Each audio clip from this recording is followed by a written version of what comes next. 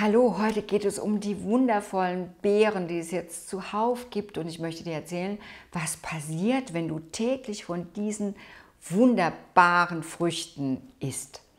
Ja, zu Recht zählen die Beeren zu den absoluten Superfoods, egal ob Blaubeeren, Himbeeren, Erdbeeren, Johannisbeeren, Brombeeren, Aronia-Beeren, Cranberries, die bei uns als Moosbeeren bekannt sind oder aber auch die Acai-Beeren, die aus Südamerika stammen und jetzt auch den europäischen Markt erobern. Sie alle enthalten einzigartige Stoffe für unsere Gesundheit. Sie sind definitiv das gesündeste Obst und für mich auch definitiv das leckerste Obst, schmecken also himmlisch und enthalten ganz, ganz wenig Zucker.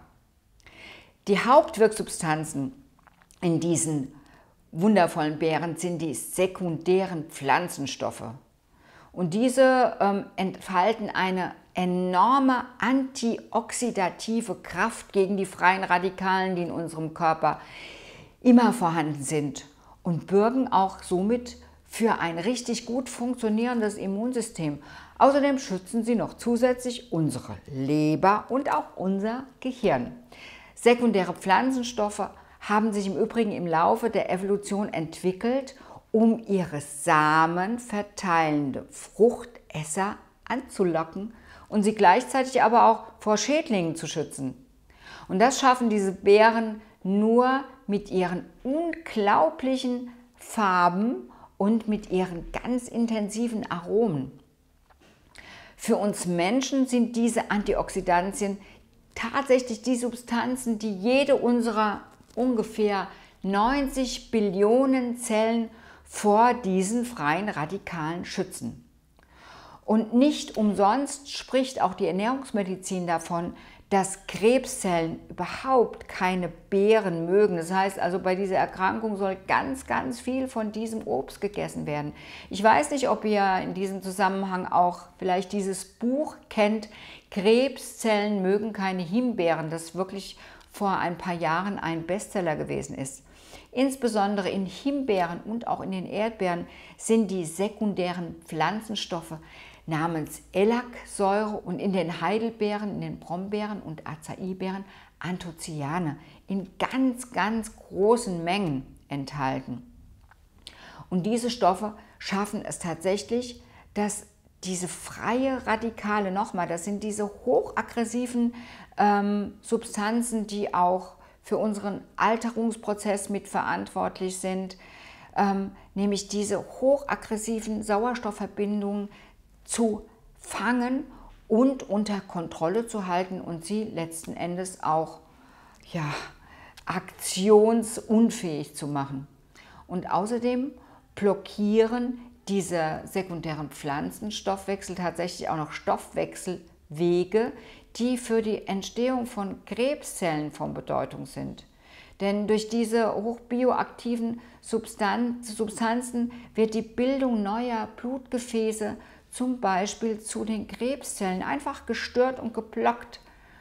Und somit mindert sie natürlich deren Versorgung. Also die Krebszellen werden dann nicht mehr versorgt mit Sauerstoff und Nährstoffen und sterben dann ab. Sie können sich nämlich nicht mehr teilen, tja, und verhungern quasi.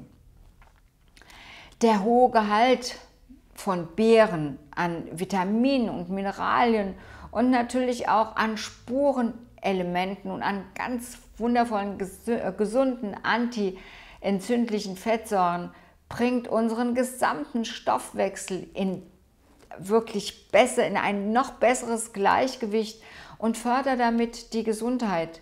Die Kombination all dieser Wirkstoffe und die daraus entstehenden positiven Effekte und Synergien erklärt die einzigartigen Eigenschaften eben dieser Beeren als wahres Gesundheitselixier. Geht jetzt auf den Markt, kauft davon in Hülle und Fülle und natürlich je frischer, umso besser. Und esst jeden Tag 1, 2 Kilo von diesen Beeren.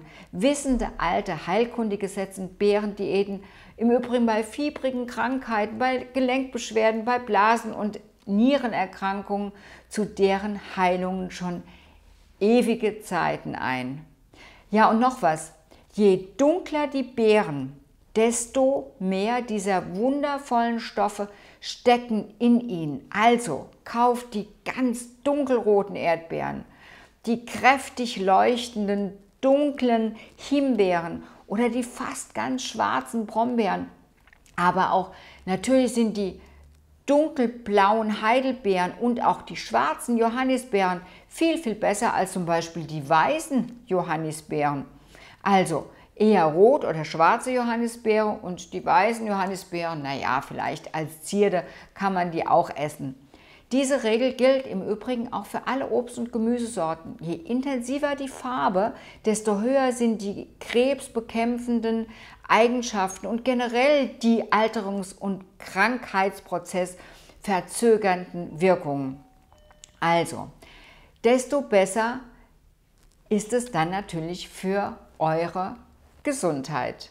Ja, und ähm, meine Idee, wie wäre es denn mit einer leckeren ähm, Speise, mit einer Beerenkaltschale, die im Übrigen viel, viel besser schmeckt als jedes Eis.